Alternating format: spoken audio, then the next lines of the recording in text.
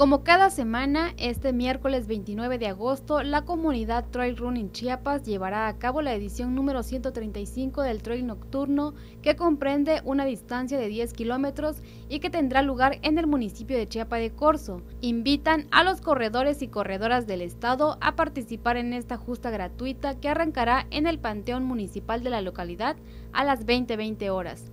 La ruta es recomendada para personas que ya corren 10 kilómetros o más se estima que el tiempo del recorrido sea de una hora y 30 minutos aproximadamente. La cita es a las 20.10 horas para que 10 minutos después comience la travesía por caminos de terracería con subidas y bajadas pronunciadas. Más que competir, la idea es compartir, correr en grupo y divertirse haciendo deporte. Para TVO Deportes de Cuarto Poder informó Mari Carmen Vázquez. Los días 28 y 29 de septiembre se desarrollará en las instalaciones del Hospital Chiapas nos une Gilberto Gómez Maza el Campeonato Estatal Abierto de Ajedrez 2018, en donde se espera reunir a un buen número de exponentes del deporte ciencia. Este evento formará parte de las actividades de promoción y desarrollo de la Asociación de Ajedrez del Estado de Chiapas. Así lo dieron a conocer en conferencia de prensa, donde estuvo presente el presidente de agrupación Enrique Velázquez González, acompañado de Enrique Velázquez Pérez en calidad de secretario de la misma. Velázquez González informó que a diferencia de la edición anterior, la cual fue únicamente participación de ajedrecistas locales, en esta ocasión será abierto, lo que significa que se contará con la participación de competidores de otros estados, quienes competirán en la categoría abierta, así como menores de 16 años y jugadores extranjeros, así como la sub-13 para TVO de Cuarto Poder, Ismael Quintero Arzate, Deportes. La visita de luchadores nacionales a tierras chiapanecas se mantiene para este mes de agosto y será este martes 28 cuando visiten la colonia Nueva Rosita en la Trinitaria, donde se presentarán los creadores Máscara Sagrada Junior y Diamante. Además, para completar la función, estarán otros creadores locales. En lo que respecta a la batalla estelar, Máscara Sagrada Junior pisará suelo chiapaneco para emular lo que su señor padre ha marcado en nuestro país, haciendo que el conocido como el Tigre Blanco tenga su propia historia.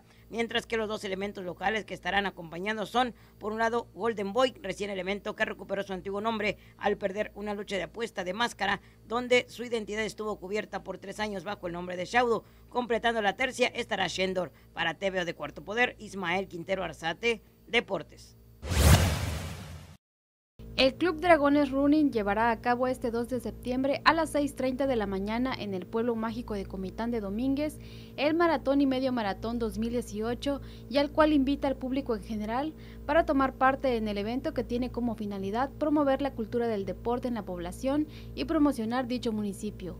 El comité organizador lanzó la convocatoria que estipula la categoría libre para 42 kilómetros, así como libre y máster para los 21 en las ramas femenil y varonil. Asimismo, se incluye una ruta de 5 kilómetros para quienes aún no corren largas distancias. Para TVO Deportes de Cuarto Poder informó Ari Carmen Vázquez.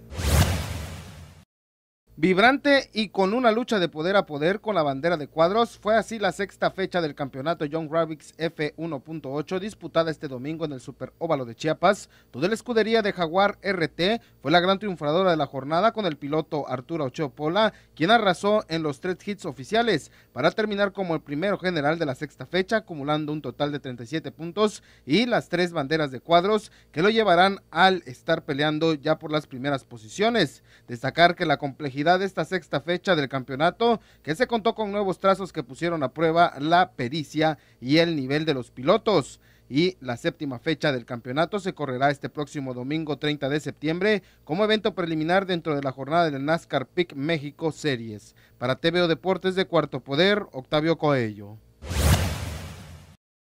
En las instalaciones de la cancha de pasto sintético del Parque del Oriente, este fin de semana se estuvieron jugando los partidos correspondientes a la jornada número 10 de la octava edición femenil de la Copa Italia, donde el conjunto de talentos de Tuxtla no mostró piedad al vencer de manera vapuleante a Jaguarcitas con un aplastante marcador de 10 goles contra cero.